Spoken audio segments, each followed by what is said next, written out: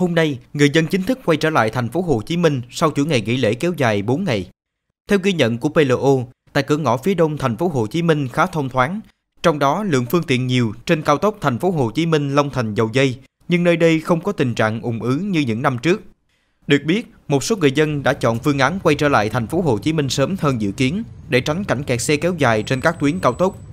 Tại phía phà Cát Lái, nối thành phố Thủ Đức với huyện Nhân Trạch Đồng Nai cũng là sự lựa chọn của người dân nhằm né kẹt xe ở cao tốc.